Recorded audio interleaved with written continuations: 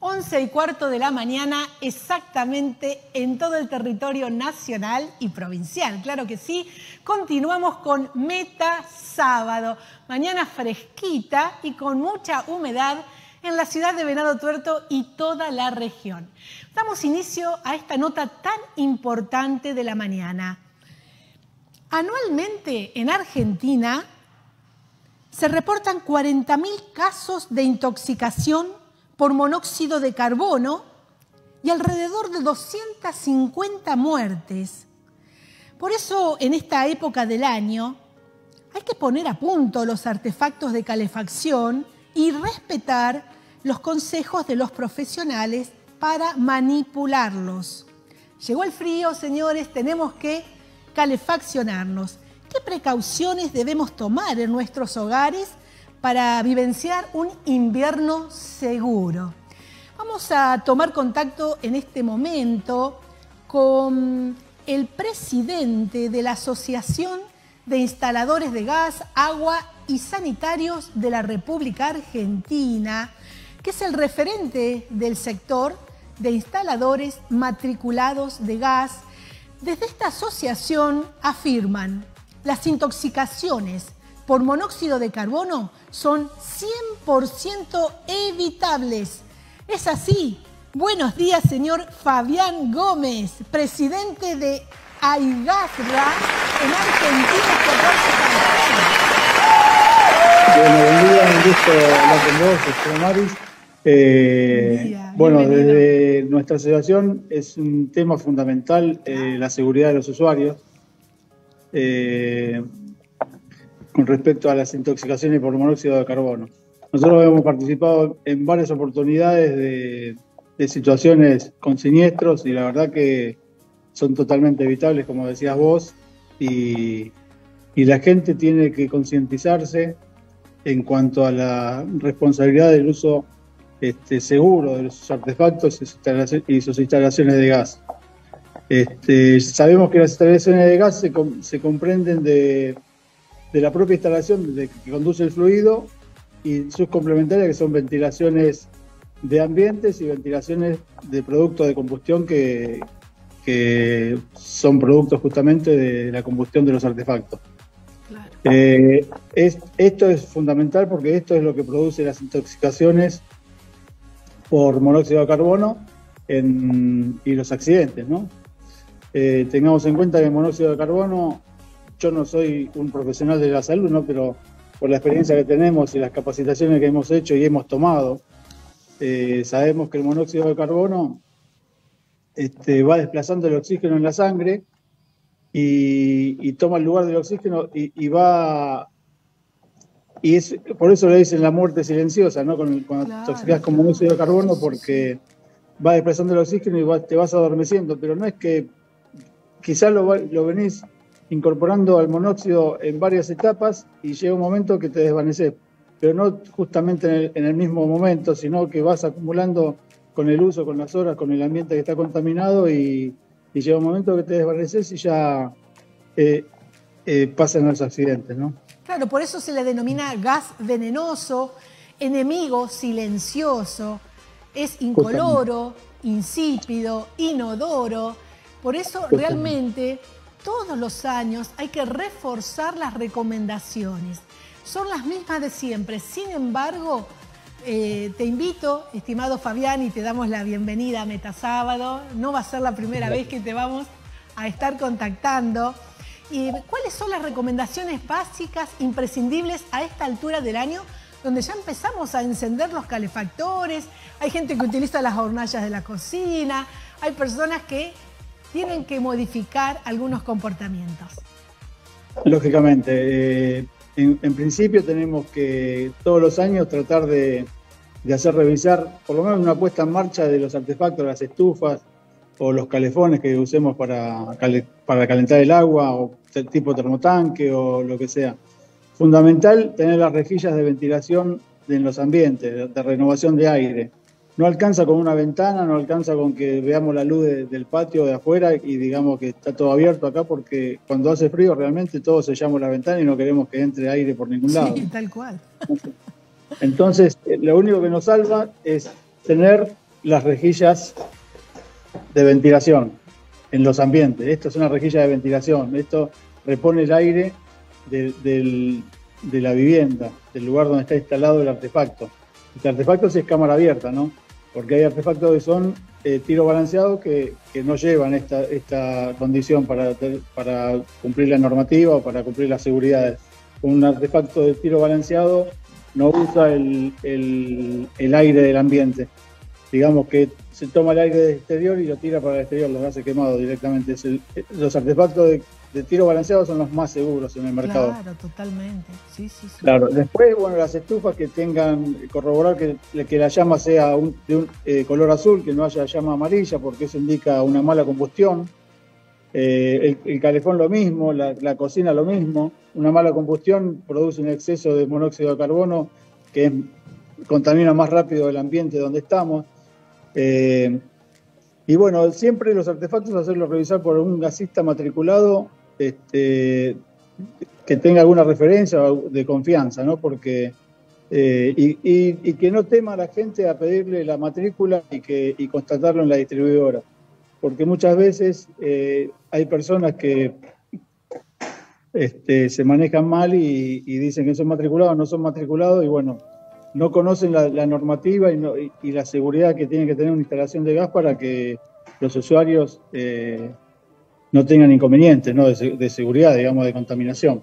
Sí, sí, sí. Eh, bueno, como te decía, la, como decías vos, la cocina no está hecha para calefaccionar. O sea, tratemos de evitar calentarnos con el horno y, dejar las, hornallas prendidas. Hay muchas veces que hay viviendas que son este, muy chicas y la gente opta por dejar prendida una hornalla y esa hornalla o un horno que, consume mucho más de lo que está preparado el ambiente ese y, es contaminante. Entonces, este, hay que estar muy seguro. Lo principal siempre es tener las rejillas y los conductos de ventilación. los conductos de ventilación, por ejemplo, un calefón, voy a, girar un poquito la cámara para, para mostrarte ahí un calefón que tenemos acá en la asociación de muestras cuando hacemos las capacitaciones. Esa, esa ventilación que sale del calefón tiene que rematar a los cuatro vientos. ¿A los cuatro vientos qué es? A los cuatro vientos no es cruzar la ventana y salir del otro lado de la pared. A los cuatro vientos es subir el caño ese arriba de cualquier parapeto este, superior que haya en la casa. Cualquier pared, cualquier techo, cualquier este, lugar. Y alejado de la ventana, ¿no? Si hay, si hay alguna ventana, tiene que estar alejado de la ventana por lo menos 50 centímetros. Este, después, bueno, hay artefactos más modernos que, que son de otra categoría, ya que son calderas o calefones de tiro forzado, que, son también muy seguros. Tienen sensores, los calefones nuevos también tienen sensores de monóxido de carbono que en cualquier falla de la, si hay falla de la ventilación, automáticamente corta la combustión, corta el gas, corta el paso del gas y bueno, ahí nos cuida un poco, pero lo que nos va a cuidar siempre es tener las rejillas de reposición de aire y los conductos de ventilación adecuados. Los conductos de ventilación se pueden probar, si no están seguros de que funcionen, se pueden probar con, un polvo fumígeno, haciendo un humo, y vemos la situación de que, tendría el, monóxido en este caso, de si está bien evacuado o no. Entonces, la eh, medida preventiva para calefones, calderas y termotanques, ¿cuál sería la norma básica? Eh, depende del tipo de artefacto. Un tiro balanceado tenés, eh, son los artefactos más seguros que, no tenés problemas en el ambiente propio, ¿no? que no hay, no hay problemas de, seguridad. En, en, calefones, como que te mostré que tienen un conducto superior, tienen que ir a los cuatro vientos. Y siempre el diámetro de salida del artefacto. Vos no podés poner un cañito más finito y después ensancharlo o viceversa. Si tenías un termotanque, no podés instalar un calefón. Y si tenías un calefón, no podés instalar un termotanque. Eh, porque el conducto tiene que ser desde la salida del artefacto hasta el remate el mismo diámetro.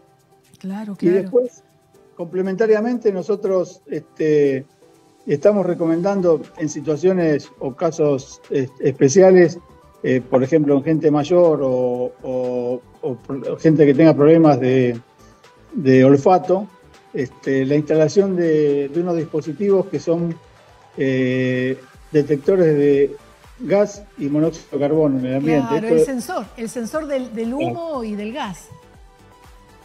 Esto es un detector de monóxido y de gas. Entonces tiene una alarma sonora y lumínica que, te avisa si hay si hay una situación de contaminación en el ambiente.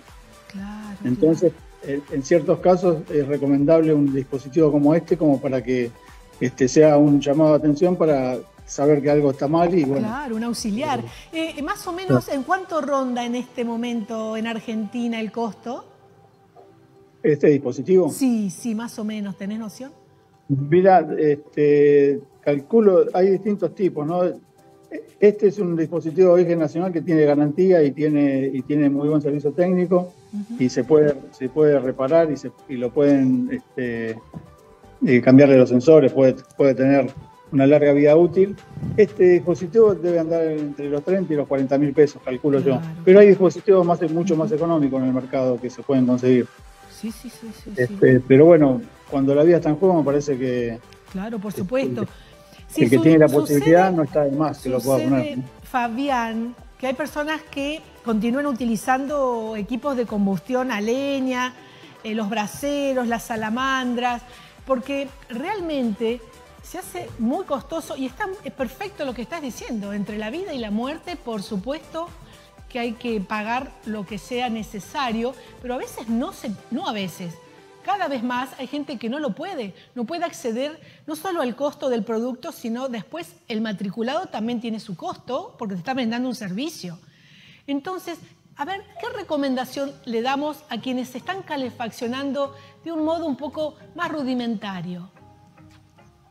Y cuando, vos tenés un, artefacto de combustión como se usaba antes, yo cuando era chico lo llegué a ver en alguna casa que ido a trabajar.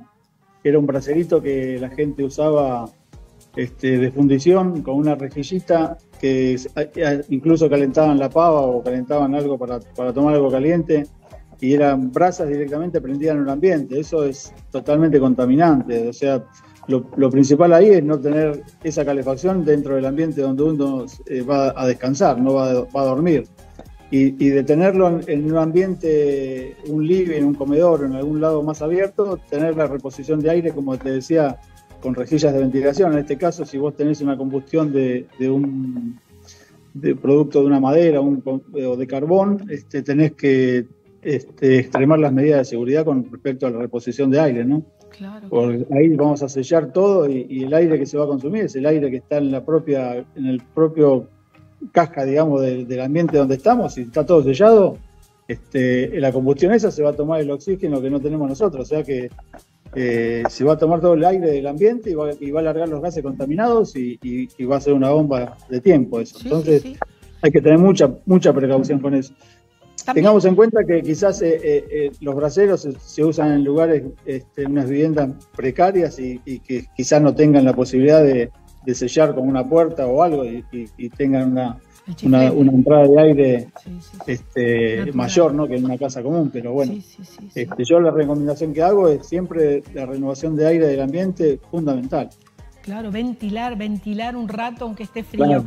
La famosa mancha. un, rato, un rato no, un rato no, porque es, siempre, la ventilación tiene que estar continua, no, no puede que abro y renuevo el aire y cierro de nuevo porque eh, te estás contaminando. Ya te decía antes que el, monóxido se va acumulando en el tiempo, entonces te desplaza el oxígeno y vos lo tenés circulando el monóxido en la sangre en reemplazo del oxígeno. Cuando llega a un nivel de, no sé, la, cantidad de monóxido que tenés que tener en sangre, pero este, llega un momento que te desvanece, o sea, te, desmayás y, ya eh, sigue avanzando eso, ¿no? Entonces este, la, recomendación es la ventilación permanente del, lugar donde está el, artefacto de gas o de, brasero o lo que sea, ¿no? Perfecto, Fabián, claro que sí. Estamos dialogando en este momento con Fabián Gómez. Fabián Gómez, vos sos el presidente de AIGASRA.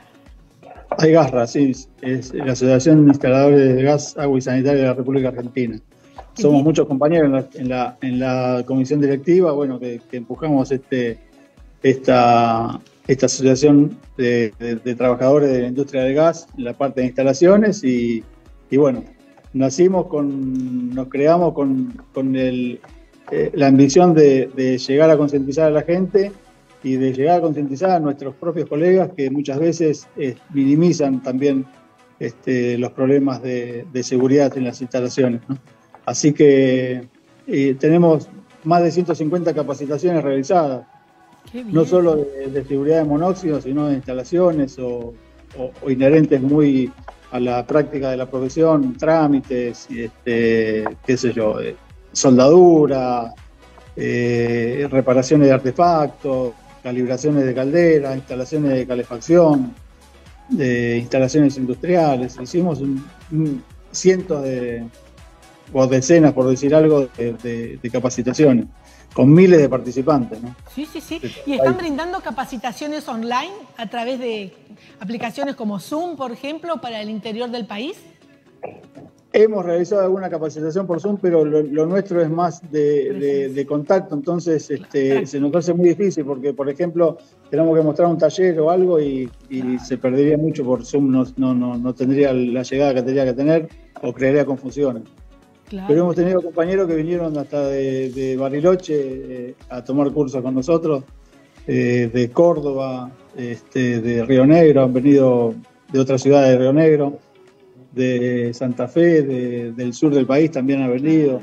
Eh, la verdad que estamos contentos con lo que hemos logrado con nuestra asociación y bueno, este, hay varias asociaciones en el país que bueno, nos gustaría que ellos acompañen también la parte de, llegar a la sociedad y de llegar a sus propios compañeros para que los capaciten, ¿no? Respecto del que utiliza gas en cilindro, el gas envasado, ¿qué recomendación darías? Mira, el gas eh, eh, envasado tiene, tiene una reglamentación que no es la misma en, cuanto a seguridad en las instalaciones de, la ubicación de los tubos o de garrafas. Tiene que tener una seguridad este, que es diferente, porque el gas, eh, el gas natural es más liviano que el aire y se vuela, digamos, que se va para arriba todo lo que sea. Bueno, es una hornalla de gas en tu casa de gas natural y el gas va para arriba. En cambio, si vos abrís una hornalla de gas, de gas envasado, alimentado por gas envasado, el gas va para abajo porque es más pesado que el aire. Entonces es un problema ese, porque la ventilación es, inversa, digamos. Vos tenés que tener la ventilación, el gas, si vos tenés una pérdida de gas, el gas va a ir para abajo y si no tiene salida por abajo, se te va a ir acumulando para arriba hasta que llega al volumen y, es una, una, mezcla explosiva. Vos en el gas envasado este, tenemos un hecho lamentable que ha pasado acá en provincia de Buenos Aires en el año 2018, 19, eh, cuando explotó una escuela, que, hubo dos, muertos, eh, no sé si la directora y un auxiliar, que fue lamentable el hecho ese. Bueno, eh, eso fue por una acumulación de gas de los artefactos en la cocina y fueron a prender y estaba todo el gas hecho una nube acá abajo, digamos que no se ve la nube porque el gas es, es, es, incoloro, ¿no? Pero estaba acumulado abajo, cuando prendieron la cocina hizo una deflagración y hizo una explosión y, lamentablemente con la pérdida de esta gente. Eh, te vamos, a mostrar una imagen, le voy a pedir desde sala de operadores a nuestra compañera Milagros que, nos, eh, que le muestre al gasista eh, Fabián, este caso, a ver qué recomienda, cómo podemos solucionarlo. Tenemos un videito ahí.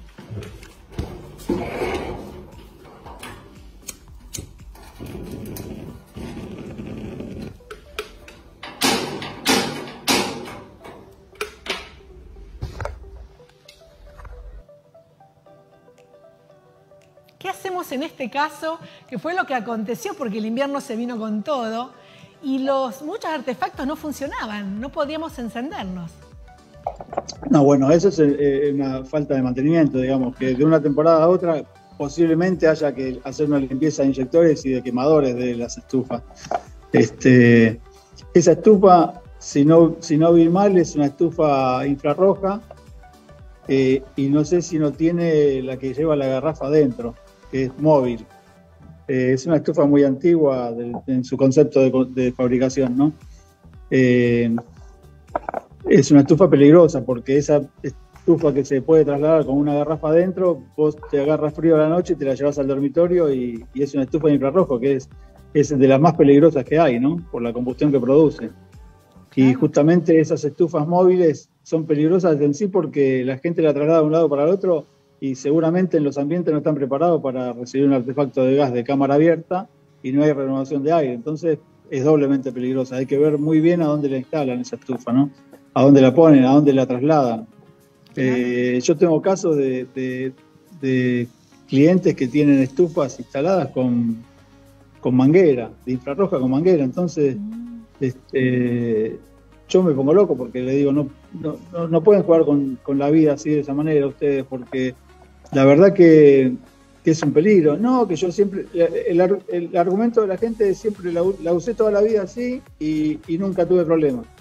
Y lo que pasa es que el problema de entre la vida y la muerte es, un segundo, ¿no? Que nunca tuviste problema y un día te pasó y te pasó. Entonces hay que prevenir eso. Si se puede prevenir, eh, eh, no hay, no hay, este, no hay excusa, digamos, para, para no hacerlo. Claro, totalmente.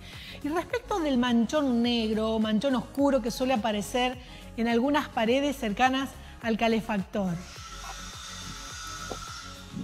Eso depende, eso depende del tipo de estufa. Hay estufas que al estar apoyadas en la pared eh, producen una mancha negra, así que no quiere decir que sea mala combustión o, que esté funcionando mal el artefacto o una pérdida en la ventilación, sino que puede ser el propio esas pelusas que hay, hay una parte de la física que estudia, esas pelusas que vuelan en el aire, pasan por el calor y, automáticamente se pegan en la pared y quedan negras. Y después hay estufas que sí, que, hacen un, negro humo, que ese sí es peligroso porque es una mala combustión.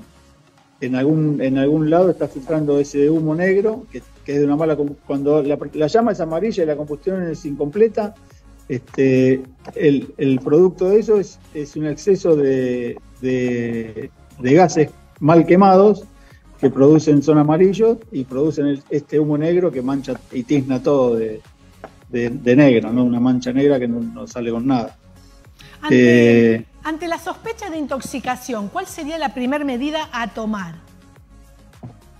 Mira, yo te voy a contar un, caso que me tocó por una amistad que, tengo con, con, un amigo de hace muchos años que estudiaba conmigo, y un día me llaman hace muchos años esto, que yo ahí también eh, tomé eh, conciencia de, lo, que es el monóxido. Eh, un poco más, ¿no? uno sabe por ya la profesión de tantos años, pero bueno, cuando te toca algún caso directo este, de gente que aprecias, como que abrís un poco más los ojos.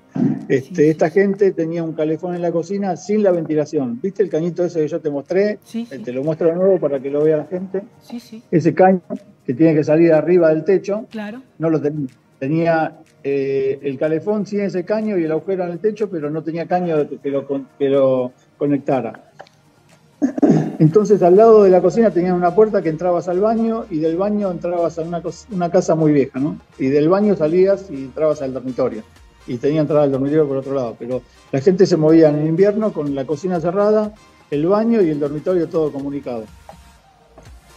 Y un día me llama un amigo este que, que habían cortado el gas y por favor podía ir, qué sé yo, y habían este, caído intoxicados todos, toda la familia, toda la familia. Este, resulta que este muchacho se despertó porque estaban todos en la cama. Dice, hasta la suegra, los chicos, en la cama de dos plazas se fueron tirando todos. Eh, hasta que eh, justamente le, llegó la visita del padre, le tocó el timbre y este muchacho se, despabiló y se despertó y vio a todos acostados en la cama abrió todo, los, empezó a ventilar el ambiente, terminaron todos internados, contaminados, porque la única manera de, reponerte es con una cámara hiperbárica para, para, para suministrarte oxígeno y, empezar a limpiar la sangre, ¿no? Claro, este, o sea que, este caso de... Apagar todos los, artefactos y salir al aire, ¿verdad? Y llamar al médico. ahí fueron los bomberos, apagar, apagás todo, abrís todos los ambientes este, y directamente te vas al hospital porque te tienen que hacer los estudios si tu sangre está en condiciones de, darte el alta o te tienen que tener internado con oxígeno para que, para que te reponga el oxígeno en la sangre y no te siga avanzando eso del monóxido. Bueno, recomendaciones finales, estimado Fabián. Para la gente que te está escuchando, has sido sumamente generoso en el tiempo, en las distintas advertencias que nos has dado. Sin embargo, hay algunas que siempre hay que volver a insistir, por favor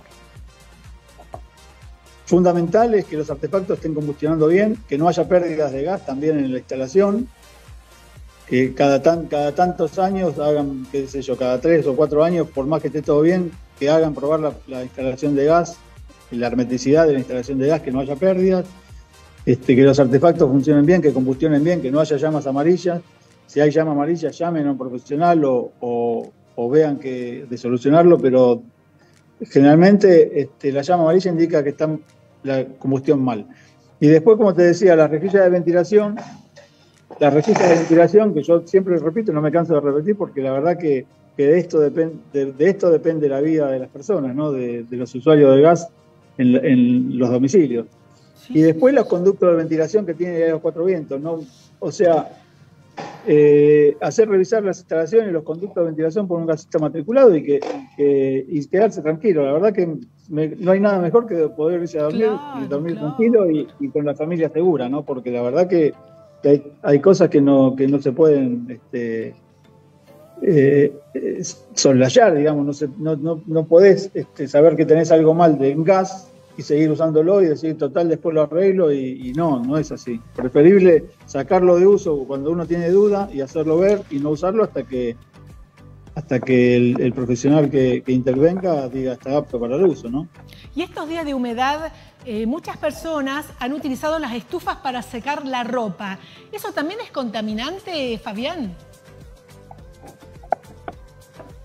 Este, Contaminante no es, porque vos estás ahí, cuando se cae la ropa, el, producto del calor va a evaporar el agua que tiene la ropa, no, no, como mucho te va a humedecer la pared y te va a llenar de hongos y de musgo algún rincón de la casa del, más frío, pero eso no es, el, problema que tiene la gente es acercar mucho la ropa a la estufa y que se le prenda fuego a la casa, eso es otro tema, ¿no? Que ha pasado, a mí me ha pasado que, se, que, gente pone, este, aprovechando el tiraje del termotanque, que el, termotanque siempre está el tiraje caliente, no es como el calefón que quizás no, llega a calentar el tiraje, pero quizás el, termotanque en el, caño que sale siempre está caliente y la gente pone cosas ahí para secarla. Y me ha pasado que, se ha prendido fuego un, lavadero por, acumular ropa y cosas alrededor del, conducto y, bueno, se prendió fuego, se prendió fuego, se hizo un incendio, ¿no? Claro, Así que claro, tengo, la precaución de, no es un artefacto está hecho para secar ropa, ¿no? Fundamental. Sí, sí, sí. Este, ha sido muy, generoso. ¿eh? Sí, la gente tiene que tener conciencia de la seguridad, de la seguridad de ellos y de su familia. Así que si piensan seriamente, este, van a tener las ventilaciones, las instalaciones, los, tirajes, todo en condiciones como para, para que todo sea seguro para, para la familia. ¿no? Bueno, quiero terminar esta nota recordando la línea de emergencia, que es el número 107 si usted considera que alguna persona está pasando una situación de eh, intoxicación, el servicio de emergencia médica es el número 107 y el Centro Nacional de Intoxicaciones, que tiene guardia a las 24 horas, es el 0800 333 0160. 0800 333 0160, línea gratuita guardia a las 24 horas o al 107. Muchísimas gracias por esta cantidad de recomendaciones y medidas de seguridad que nos has brindado. Estimadísimo Fabián Gómez, gasista matriculado en combustión categoría A, técnico en electrónica y fundamentalmente presidente de la Asociación de Instaladores de Gas, Agua y Sanitarios de la República Argentina. Te despedimos con un gran abrazo Vamos a volverte a llamar dentro de poco tiempo. Muchas gracias, estamos a disposición. Yo o cualquiera de mis compañeros de la asociación que están siempre dispuestos a, Bienvenido. a ser Buen fin de semana, ¿eh? Gracias, gracias, gracias.